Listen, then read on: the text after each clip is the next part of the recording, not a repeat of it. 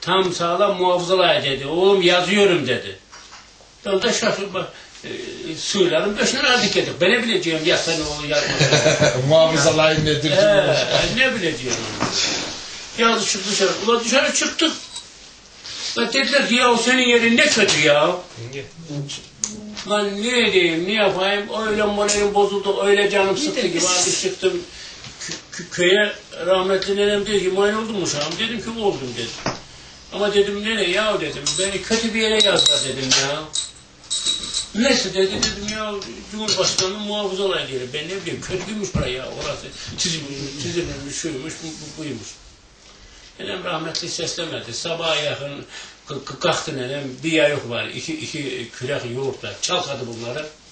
Koydu bir kaba yağ. Dedi ki uşağım bu yağı al dedi. Götür Yunus amcama ver dedi. Bunları yüzbaşıya versin. Senin sınıfın dik dik dik dövüştürsün. Bak günlerden perşembe.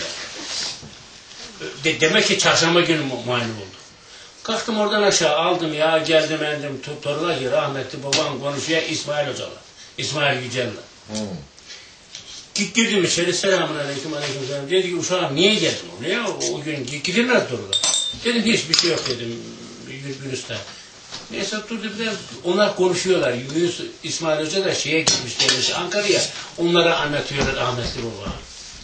Biraz daha uşağım niye geldin dedi. Dedim hiçbir şey gitmeyemem. Biraz daha durduk adam şüphelendi. Oraya bu niye geldi buraya bu?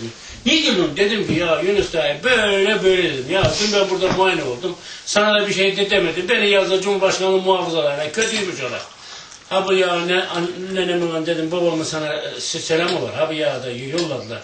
Bunu dedi o zaman da yüzbaşı şube başkanı. Ha bile bir yan piri yürüyen bir yüzbaşı var. Vereceksin orada benim sırrımı de- değiştirecek. Rahmetli baban seslemedi. İsmail Hoca bir de bir fırladı. Hemen çık lan dedi. Seni eşek oğlu eşek dedi. Hayvan oğlu hayvan dedi. Yani seni adam sadece Cumhurbaşkanı muhafızlarına yazar. Sen gel ki bunu dikliyorsun. Hemen kahar kalkmaz benim çantamı e, kaptı aldı yağ çıkarttı ondan te- teraziye taktı. Dedi ki Yunus Efendi üç buçuk kilo dedi. Ne diyese sen şunun parasını çıktırdın gittin de.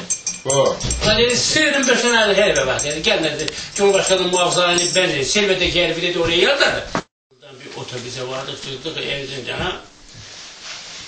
Tren istasyonuna gittik.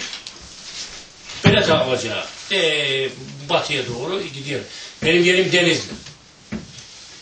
İçimizden e, şimdi hep aynı istika- istikamete gidiyoruz ama Hasan ters istikamete. Van'a. Ha. Hasan gidiyor bana.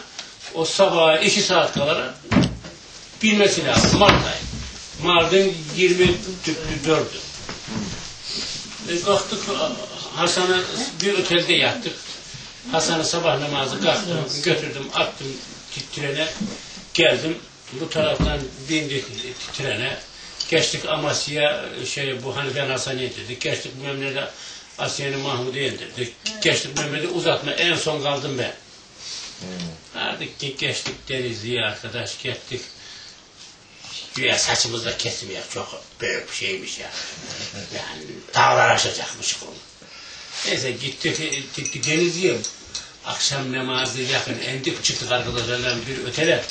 Banda bölüyorlar bir bölük asker bir yere gidiyor, nereye gelmiyorum. Davul, mavul, üstüne aşağı çala çala ge- geliyorlar şeylere.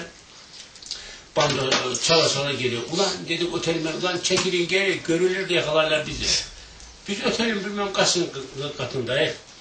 Neyse orada o gece yattık sabah endik aşağı. Gittik güya berbere gitmeden birer fotoğraf çekindik saçlarımızdan. Ondan sonra gittik berbere saçlarımızı kestirdik. Sonra gittik Nizamiye'yi anladın mı? Sanki hiç büyümeyecek gibi. Ben sana büyümeyecek gibi. Nizamiye'den aldılar bizi içeri arkadaş. Vardık doğru birer el- elbisemizi verdiler dediler doğru hamama. Aldı bir, bir iki tane asker, üç, üç beş asker bizi Ne? doğru